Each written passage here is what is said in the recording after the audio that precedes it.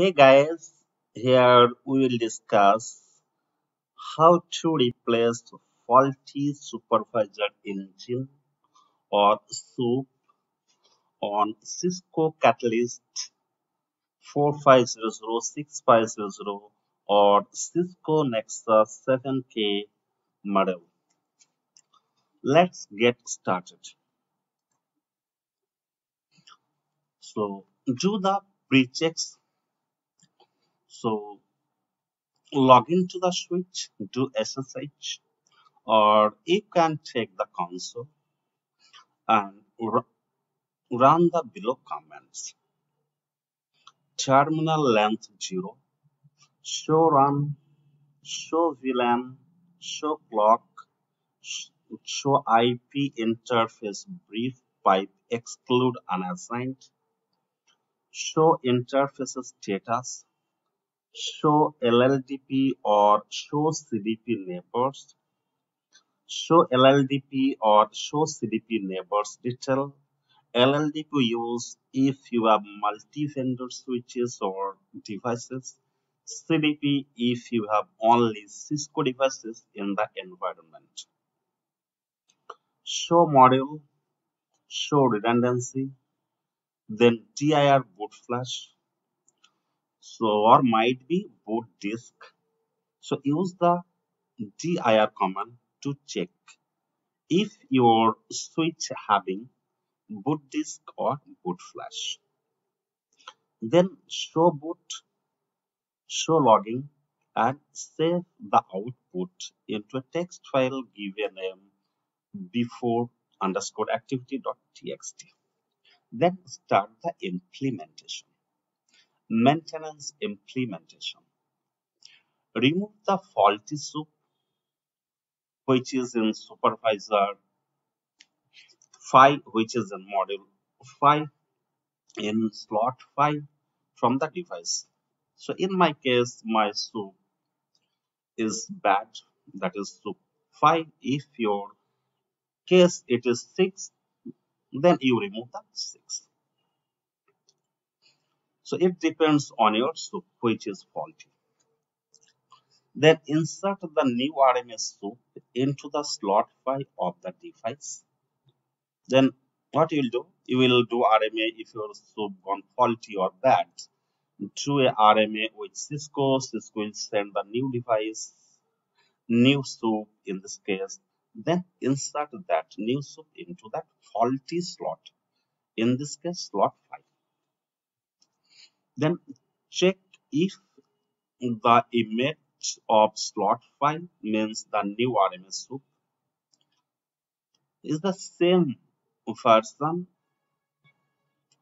which is having in the SUP 6 okay? If it is same then check the sync data show module. If it is same then your work is done here. Show module you will see if not then copy the ios image and firmware.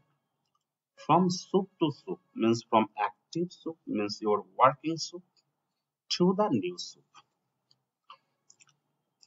Command copy boot flash then slave boot flash then give the ios file then enter after completing copy the firmware command is copy boot flash slave boot flash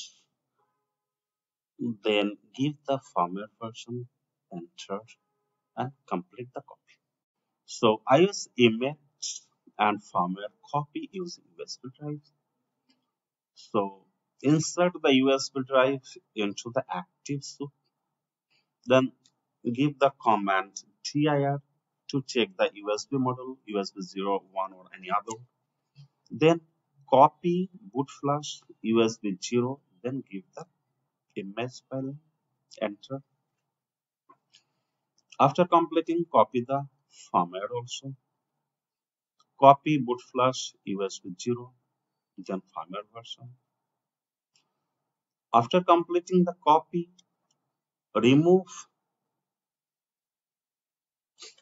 the USB from the active SUP and insert the USB into the standby or new RMA SUP. Then copy the IOS and the firmware. Command is copy USB 0 slab slave boot flash then give the file name after completing copy the firmware copy USB 0 then slave boot flash then give the firmware then enter. After completing check the IOS image is in the standby SUP.